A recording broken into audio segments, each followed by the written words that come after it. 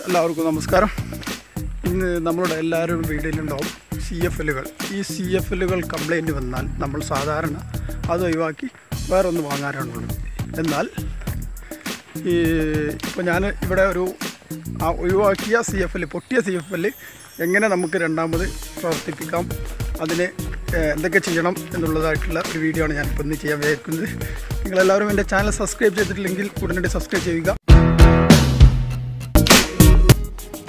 ഇവിടെ ഞാൻ എടുത്തിരിക്കുന്നത് ഒരു പൊട്ടിയ സി എഫ് എൽ ബൾബാണ്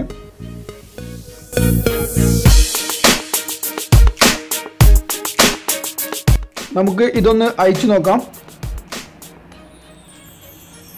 ഇതിൽ കാണുന്നത് പോലെ ഫിലമെന്റിലേക്ക് രണ്ട് വീതം നാല് കണക്ഷൻസ് ആണ് ഉണ്ടാവുക. ഇവിടെ നമുക്ക് കട്ട് ചെയ്ത് പഴയ ട്യൂബിനെ ഒഴിവാക്കാം.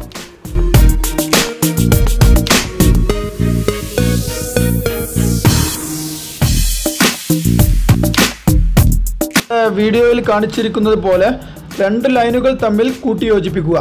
അതുപോലെ തന്നെ രണ്ടാം ഭാഗവും കൂട്ടിയോജിപ്പിച്ചതിന് ശേഷം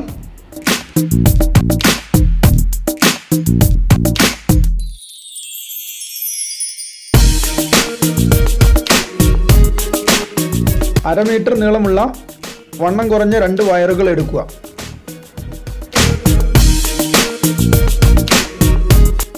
ഇത് നമ്മുടെ മാർക്കറ്റിൽ ലഭിക്കുന്ന പതിനെട്ട് വാട്ട്സിന്റെ ഒരു ട്യൂബാണ്.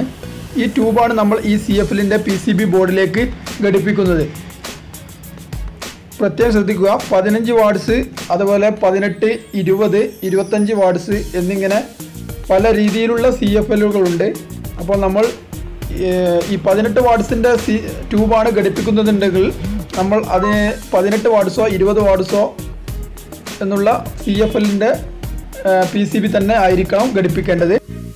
നാൽപ്പത് വാട്ട്സിന്റെ സി എഫ് എല്ലിനാണ് നമ്മൾ ഇതുപോലെ ഫിറ്റ് ചെയ്യാൻ ഉദ്ദേശിക്കുന്നത് എങ്കിൽ നാൽപ്പത് വാട്ട്സിന്റെ തന്നെ ട്യൂബ് മാർക്കറ്റിൽ വാങ്ങാൻ ലഭിക്കുന്നുണ്ട്.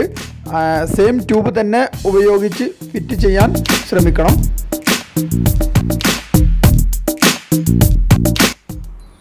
ഇതുപോലെ തന്നെ ഒരു സ്ലീവ് ഉപയോഗിച്ചതിന് ശേഷം കണക്ട് ചെയ്യുകയായിരിക്കും നല്ലത്.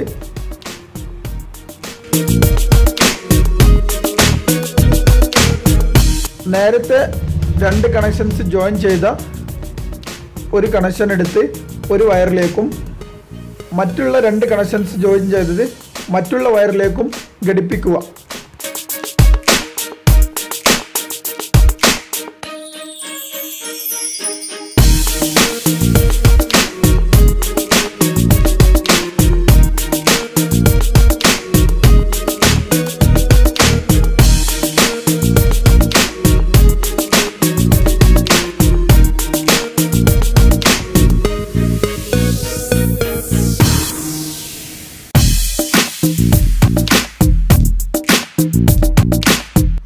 ഇനി ട്യൂബിനെ നിർത്താനായി നാല് ഹോളുകൾ ആവശ്യമാണ്.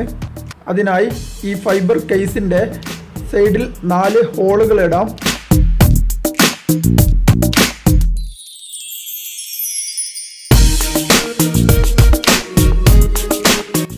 ഡ്രില്ലിംഗ് മെഷീൻ ഉണ്ടെങ്കിൽ ഡ്രില്ല് ഉപയോഗിച്ച് ചെയ്യുകയാണ് ഏറ്റവും നല്ലത്. ഇവിടെ ഞാൻ നിങ്ങൾക്ക് സിമ്പിളായിട്ട് ഉപയോഗിക്കാൻ വേണ്ടിയാണ് ട്യൂസർ കൊണ്ട് കാണിച്ചു തരുന്നത്.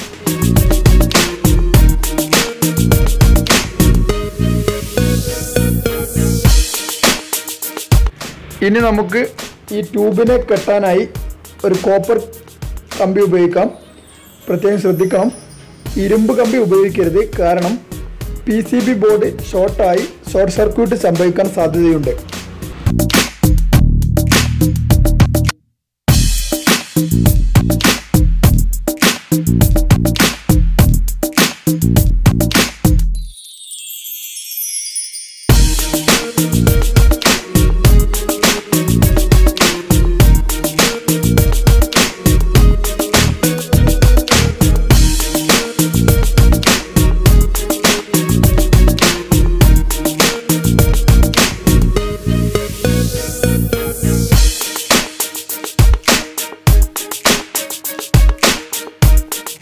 അതുപോലെ തന്നെ ഈ ഒരു ഭാഗം ട്യൂബിന് കറക്റ്റ് ഫിറ്റിങ്ങിൽ നിൽക്കാൻ വേണ്ടി ചെറുതായിട്ടൊന്ന് കട്ട് ചെയ്ത് കൊടുക്കണം.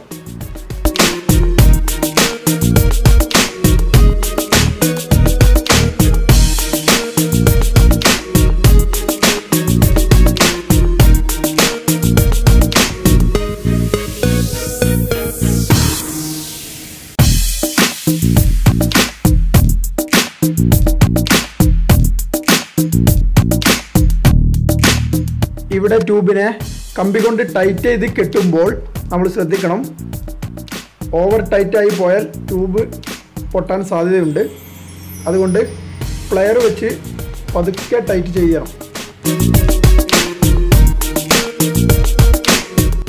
അതേപോലെ തന്നെ സി എഫ് എല്ലിനെ ട്യൂബിന്റെ സെന്റർ പൊസിഷനിൽ തന്നെ നിർത്താൻ ശ്രമിക്കണം.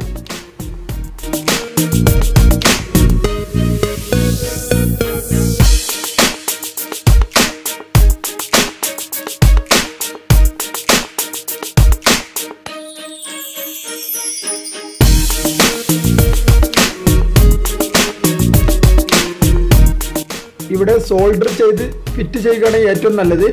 ഞാനിപ്പോൾ താൽക്കാലികമായി സ്ലീവ് ഉപയോഗിച്ച് കണക്ട് ചെയ്യുകയാണ് ചെയ്യുന്നത്.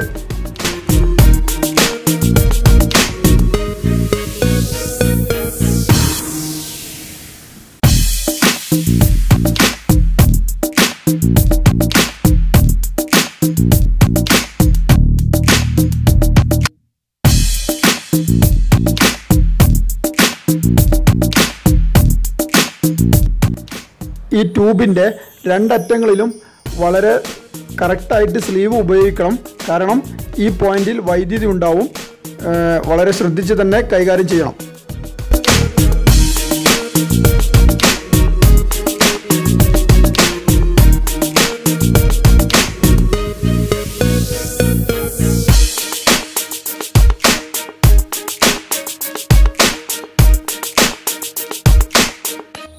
ഇവിടെ ട്യൂബിന്റെ രണ്ടറ്റത്തും ഒരു സെല്ലോ ടേപ്പ് ഉപയോഗിച്ച് ഒന്ന് ചുറ്റി കൊടുക്കാം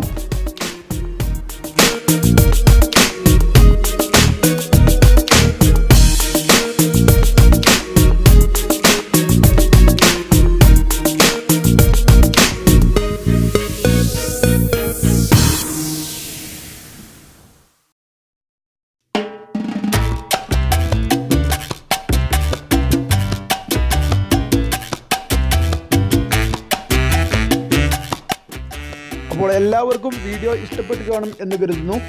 ഇനിയും എന്റെ ചാനൽ സബ്സ്ക്രൈബ് ചെയ്യാൻ ആരെങ്കിലും ബാക്കിയുണ്ടെങ്കിൽ സബ്സ്ക്രൈബ് ചെയ്യുക.